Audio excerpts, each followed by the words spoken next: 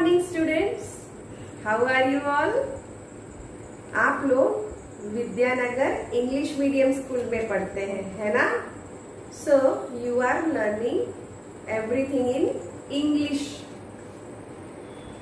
you know English is an international language मतलब पूरे world में बहुत सारी, बहुत सारे लोग इंग्लिश बोलते हैं। और हम घर में क्या बोलते हैं? कौन सी लैंग्वेज बोलते हैं? गुजराती। गुजराती हमारी मातृभाषा है।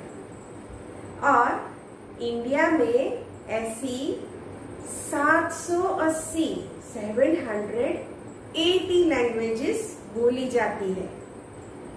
लेकिन इंडिया की एक लैंग्वेज है जो बहुत सारे लोग बोलते हैं। वो है हिंदी। तो हिंदी हमारी राष्ट्रभाषा है। इंडिया में हम कहीं भी जाते हैं, बहुत सारे लोगों को हिंदी तो आती ही है। आज से हम हिंदी सीखेंगे। जैसे इंग्लिश में अल्फ़ाबेट होते हैं, वैसे हिंदी में वर्णमाला होती है। और जैसे इंग्लिश में लेटर्स होते हैं, हिंदी में अक्षर होते हैं। इंग्लिश में हम लोगों ने वॉवेल्स और कॉन्सोनेंट करे। हिंदी में उनको स्वर और व्यंजन कहते हैं।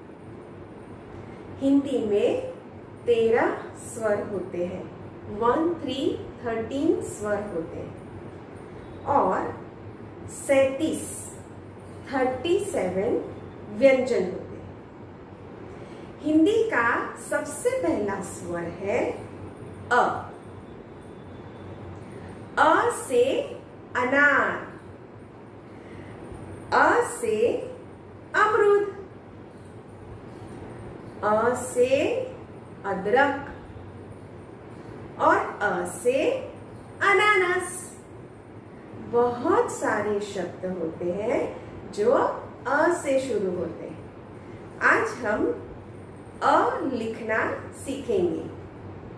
सबसे पहले हम हमारी हिंदी की वर्कबुक में अ लिखेंगे।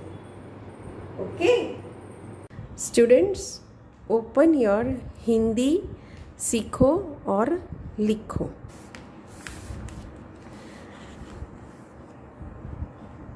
पेज नंबर चार पे वर्णमाला दी गई है।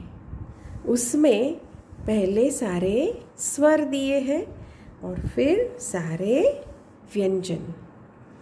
आज हम सबसे पहला स्वर अ सीखेंगे। उसके लिए पेज नंबर पाँच, ठीक है? Now write down today's date आज की तारीख लिखेंगे। One seven seventeen cross line eight cross line twenty अभी आप बराबर ध्यान से देखना कि अ कैसे लिखना है। बच्चों, हमारी वर्कबुक में हमें पाँच ब्लू लाइंस दी हुई है। One two three four five देखो, हमें हमारा अक्षर इन पाँचों ब्लू लाइन के बीच में करनी है। तो आपको इंग्लिश का नंबर थ्री आता है ना लिखना?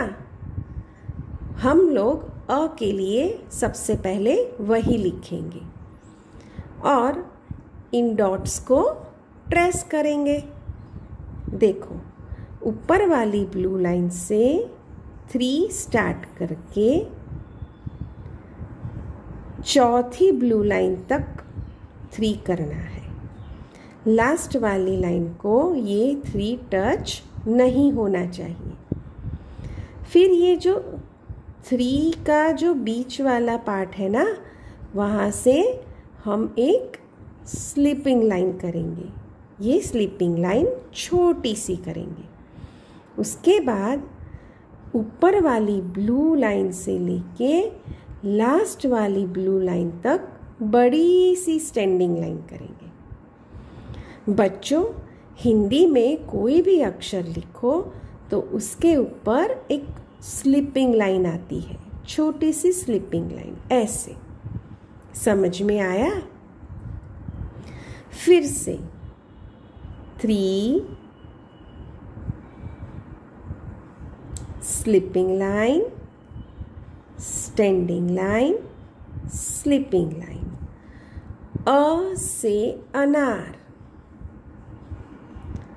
अ से अनार। एक बार फिर से करते हैं। Three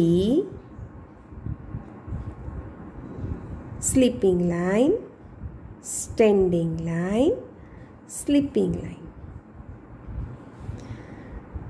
ये पूरा अ वाला पोर्शन आपको प्रैक्टिस करना है, जिससे आपको बहुत अच्छे से अ आ जाएगा। इसके बाद हम लोग डबल लाइन वाली हमारी हिंदी की नोटबुक है ना, उसमें अ लिखेंगे।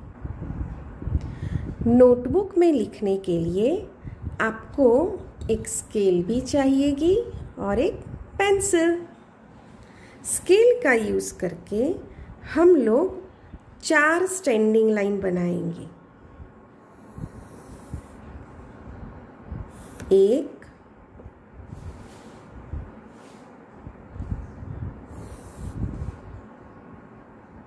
दो,